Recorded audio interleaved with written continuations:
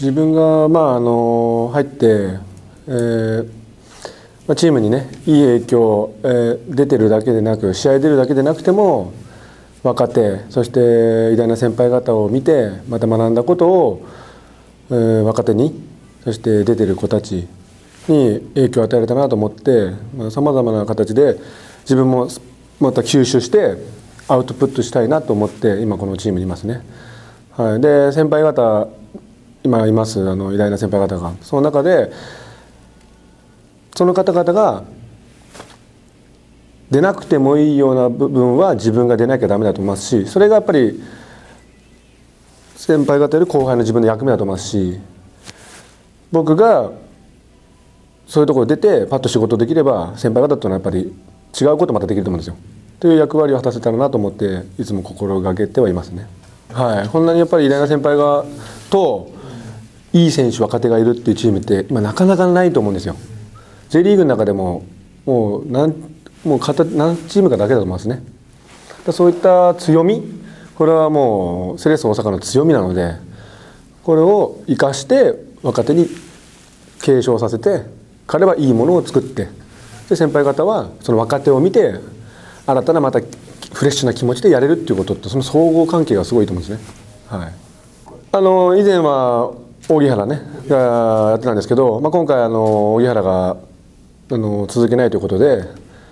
まあ、ちょっとね高の方からも「北野さんぜひやってもらえますか?」という言葉をあのしてもらっててで考えた上ででまたチームの全員の話し会の時に誰もねやることがなかったのでだからじゃあやろうかなっていうことを言ったら「チャンスお願いします」って言われたんではいまあね可愛いね後輩なんでねやっぱりそういった子が素直にやってほしいって言われたら受け止め受けるのも一つかなと思ったんであのやらさせていただきました。まあ、選手会長といってもあのまあ J リーグにおける規則やら J リーグにおける問題を、えー、みんなで話し合ってその選手の中に持ち込んでくるそしてもしくは選手の中で J 問題が起きていることをまとめて J リーグに持っていったりというそういう役目なんですけど、まあ、それと同時に選手会長という立場になるおかげで彼らもいろんなことをあの話したりできるので言いやすくなもともと走ってはいましたけどよりそういったポイント役で話せるっていうのはありがたいなと思ってますね。あのポイントを見て僕は食事会を誘っているつもりなんですね。っていうのは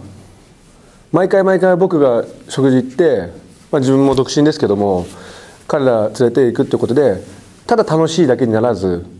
一緒にいていろんなムードのある話をしてそれで楽しむということはあの見ながら適度なバランスですることがとても締まる雰囲気になると思うんですね。なので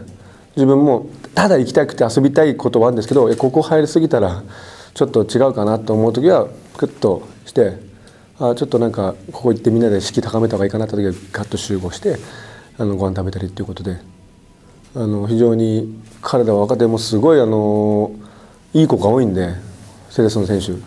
なのでこうみんなで行った時の結束力団結力っていうのは非常に強いチームだなとまあそれは昨年で思いましたけどまた今年今年に入ってもより高まってる雰囲気がしますね。